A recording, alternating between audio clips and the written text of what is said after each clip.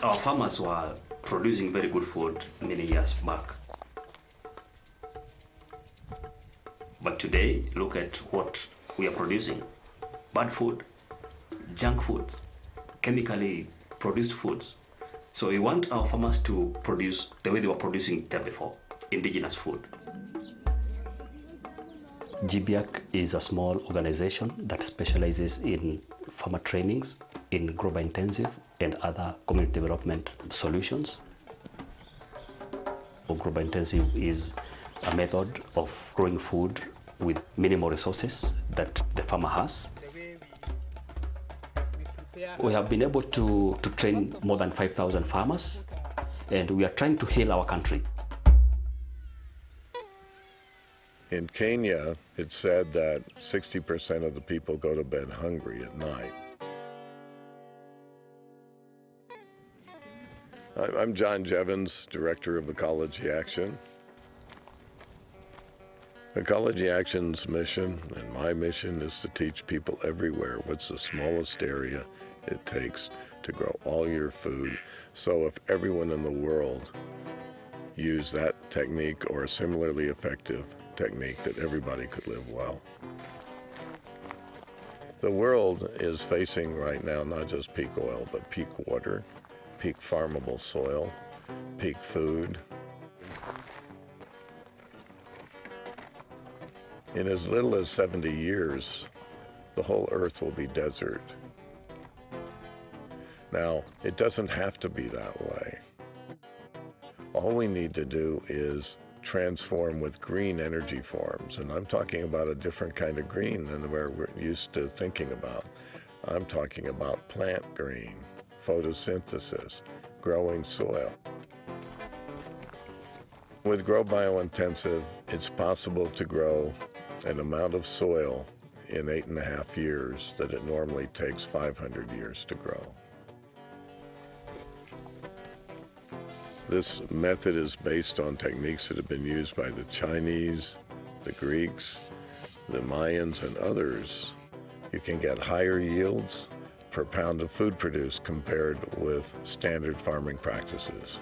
In these days of difficult financial challenges globally, being able to do a lot with a little is the name of the game. You can grow a complete diet in 4,000 square feet, sometimes less, and this compares with the 30,000 square feet it takes to grow the average U.S. diet.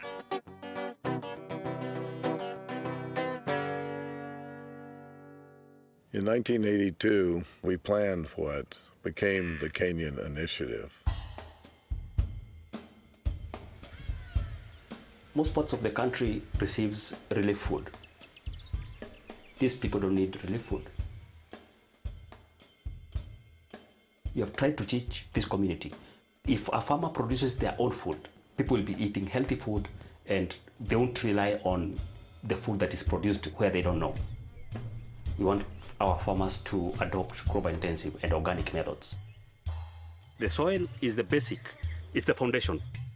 One of the principles of biointensive agriculture is deep digging or double digging. That allows for roots to penetrate without any hindrances. That allows for water to penetrate, air to circulate.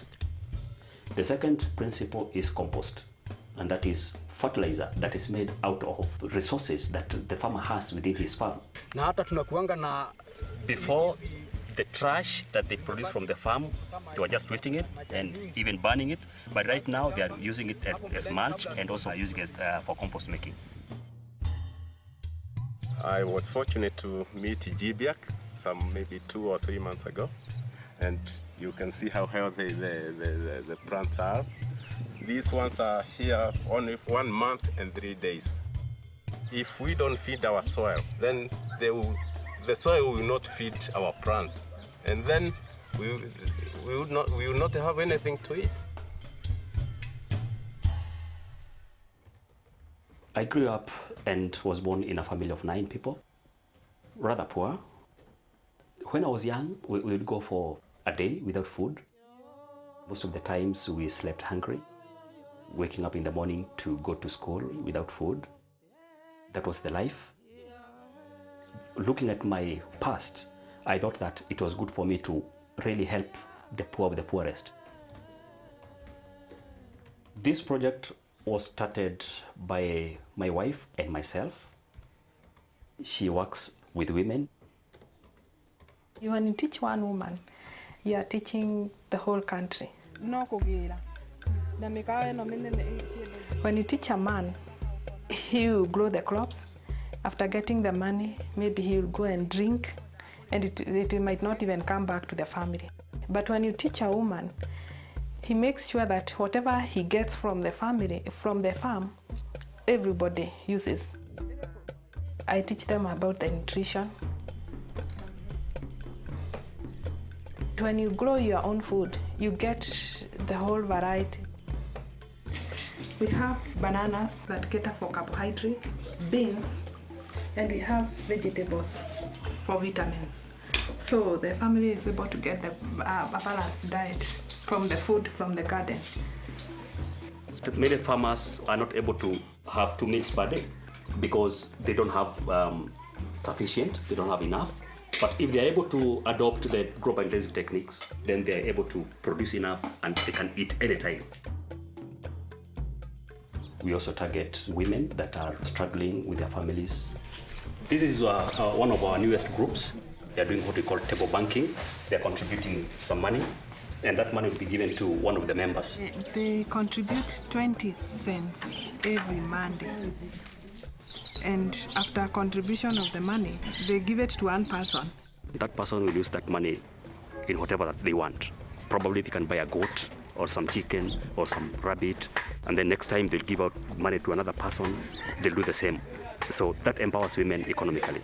We buy chairs, the cups, plates, spoons, and even children having clothes.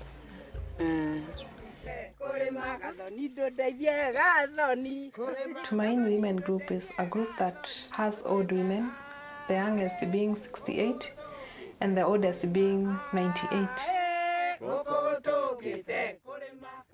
And they like singing when they are doing their work. When they are digging, they are singing.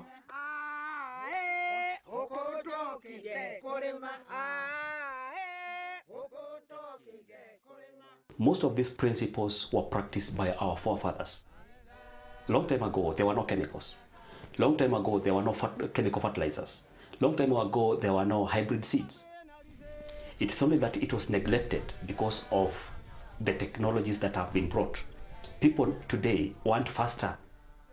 But biointensive agriculture entails you using your, your energy, working in the field, working with nature,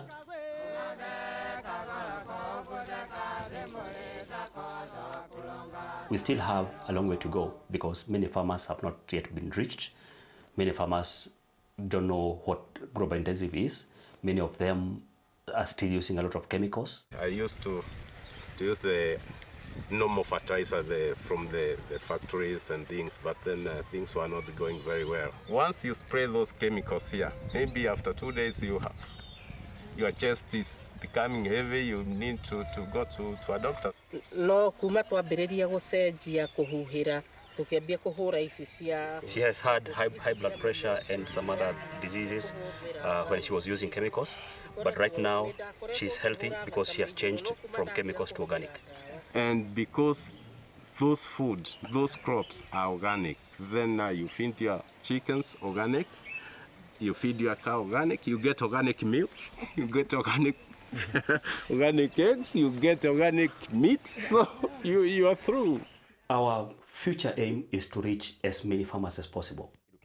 After we have trained them in Grow Biointensive, these people will go out there and train other farmers. For all Kenyans to be able to learn faster is to learn by seeing, not just giving out lectures. We say that seeing is believing. So we'd like to establish satellite agricultural centers all over the country. We want to use this farm as one of the satellite centers so that farmers around here can be able to come here and train. Many farmers visit him to see what he's doing in his farm because he's a model of other farmers. And many people do come here to see exactly what he's doing and how he's doing it, and they emulate him.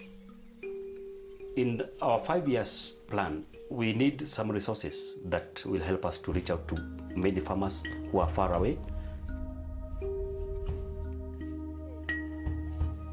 Water is very important, and we need facilities, and all that entails funding. If we have enough water, we shall produce vegetables here, we shall sell, earn income to run our activities. If we have a classroom, many people would come here and train. It shall be sustainable. Biointensive agriculture is holistic approach. It is farmer friendly. It is environmental friendly. It is affordable to any kind of farmer, whoever, whoever poor or rich.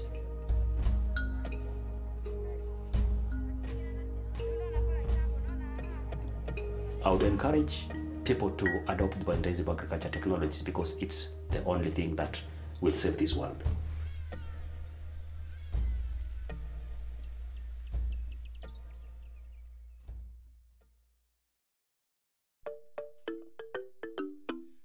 wáyá rí wáyá wáyá.